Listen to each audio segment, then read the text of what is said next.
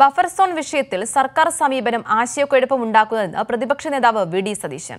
ഇന്നലത്തെ യോഗത്തോടെ അത് കൂടുതൽ വ്യക്തമായെന്നും ഇപ്പോഴാണോ മാനുവൽ സർവേ നടത്തേണ്ടതെന്നും വി ഡി സതീശൻ പ്രതികരിച്ചു. ആശയക്കുഴപ്പം വർദ്ധിച്ചിരിക്കുകയാണ് ഇന്നലത്തെ മീറ്റിംഗ് കഴിഞ്ഞോടുകൂടി ഇവർ ഗൗരവത്തോടു കൂടിയല്ല ഇതിനെ സമീപിച്ചേക്കുന്നത് ഇവരേത് റിപ്പോർട്ടാണ് സുപ്രീം കോടതി കൊടുക്കാൻ പോകുന്നത്? ഇവർ സാറ്റലൈറ്റ് സർവേയുടെ റിപ്പോർട്ടാണോ കൊടുക്കാൻ പോകുന്നത്? അതോ രണ്ടായിരത്തി ഇരുപത്തൊന്ന് നടത്തിയ സർവേയുടെ റിപ്പോർട്ടാണോ കൊടുക്കാൻ പോകുന്നത്? ഏത് റിപ്പോർട്ടാണ് കൊടുക്കാൻ പോകുന്നത്? അതോ ഇനി റവന്യൂ ഡിപ്പാർട്ട്മെന്റിനെയും എൽ എസ് ഇ ഡിയും കൂടി സഹകരിപ്പിച്ചുകൊണ്ട് പൂർണമായ തരത്തിലുള്ള ഒരു സർവേ നടത്തിയിട്ടുള്ള റിപ്പോർട്ടാണോ കൊടുക്കാൻ പോകുന്നത്?